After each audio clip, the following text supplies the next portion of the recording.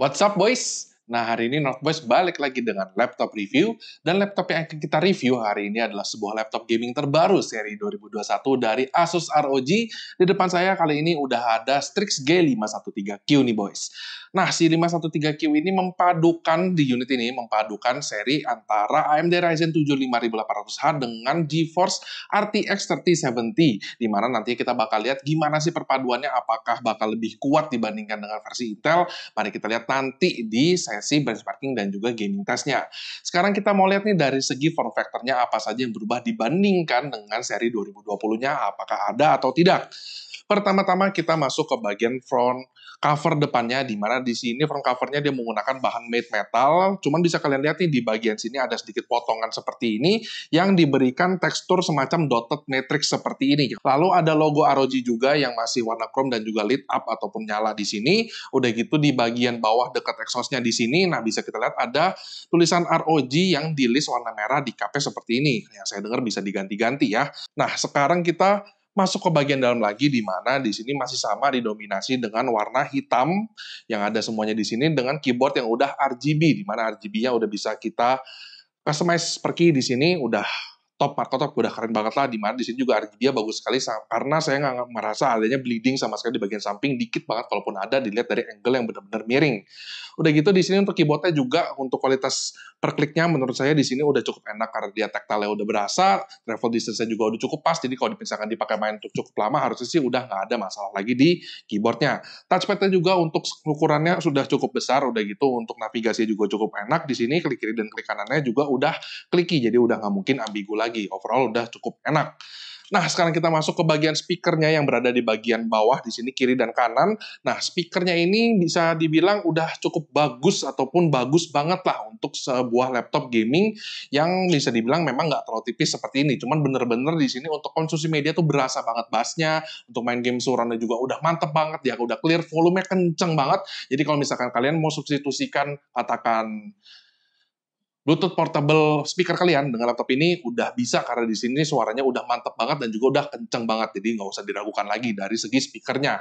Nah sekarang kita mau ngomongin soal build quality-nya sedikit karena di sini kalian lihat nih selain build quality juga kita ngomongin desain sedikit nih. Di bagian bawah dekat speaker yang tadi kita bilang sini ada satu list LED yang di mana di sini bisa kita customize juga. Di sini warna-warnanya mau strobing mau di sini ada wave rainbow seperti ini juga bisa. Dimatikan juga sekarang udah bisa. Jadi bagi kalian yang pengen laptop pekatan gaming udah bisa banget di sini kelihatan banget RGB-nya mau dimatiin juga nggak masalah kalau misalkan lagi di tempat kerja. Nah, udah gitu kita di sini berkualitas bagian bodinya juga di sini udah cukup pakem karena saya ngerasa nggak ada lagi untuk ROG ya di sini nggak ada titik kopong, diangkat dengan saut tangan juga pastinya sudah tidak ada bending. Udah gitu untuk displaynya juga biarpun sangat tipis, cuma kalau misalnya kita goyang-goyangin begini juga masih ya cukup sturdy lah bisa dibilang nggak sampai goyang-goyang banget. Cuman tetap aja karena di sini dia sangat tipis saya menyarankan bukanya tetap dari tengah karena di tengahnya juga ada hinge seperti ini yang untuk kita ngebuka si displaynya. Sekarang kita masuk ke bagian displaynya sendiri ini ya panel display yang kita pakai di sini. Nah ini dia menggunakan IPS panel pastinya di sini resolusinya Full HD yang mantap adalah untuk di refresh rate-nya dia di mana dia menggunakan refresh rate sebesar 300 Hz di mana itu pasti udah tinggi banget, cepet banget. Nantinya bakal kita coba secepat apa displaynya di sini dan untuk warnanya dia juga udah 100% sRGB yang pastinya udah menjadi above standard lah, udah above standard uh, untuk gaming yang ada di market sekarang ini. Nah, baterainya yang sebesar 90 watt hour juga setelah kita tes bisa bertahan untuk office work biasa sekitar 7 jaman, 6 sampai 7 jam. Di mana udah cukup cukup banget lah pastinya untuk misalkan kalian bawa laptop ini untuk pergi ke kantor, misalnya lupa bawa charger.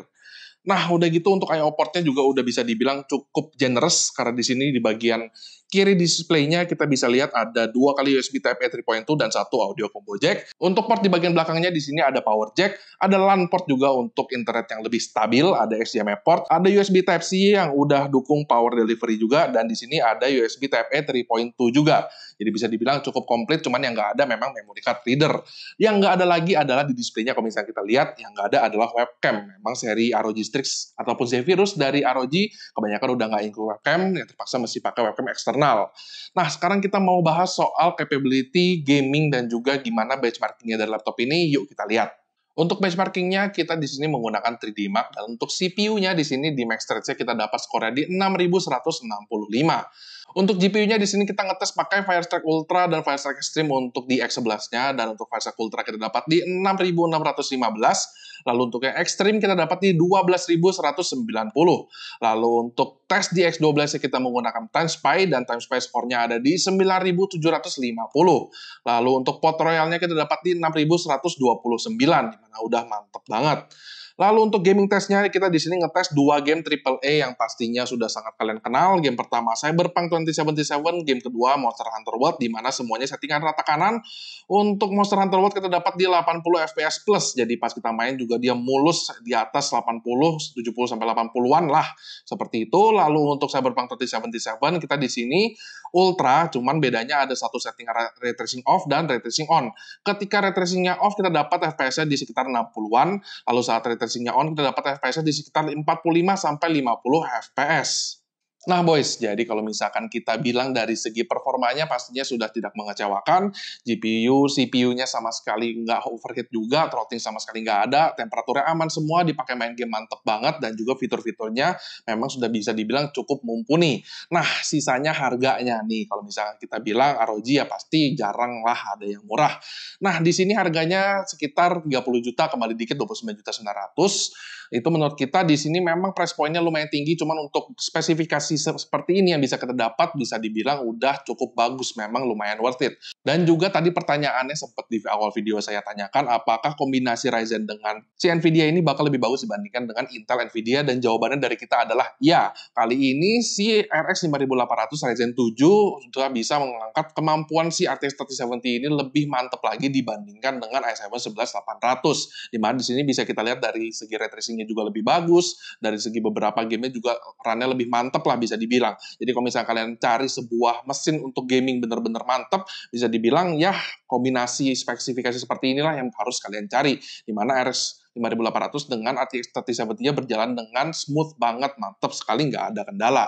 Nah, sisanya ya memang balik lagi ke kendala harga, di mana harganya bisa dibilang cukup tinggi, cuman untuk barang yang kita dapatkan, di mana di sini untuk displaynya udah 300 Hz, pastinya udah mantep banget, speakernya udah mantep banget, kostumisasi juga di sini udah keren banget karena dia udah ada LED strip. Nah, seperti ini, keyboardnya juga udah RGB per key, layarnya juga udah tipis banget dan ada sedikit list dari form factor yang saya suka banget kali ini yaitu warna merah yang ada di belakang ini. Jadi bikin si laptop ini at least seri Strix kali ini udah punya karakter lah gak kalah lagi sama Zephyrus yang namanya dulu lebih mantep.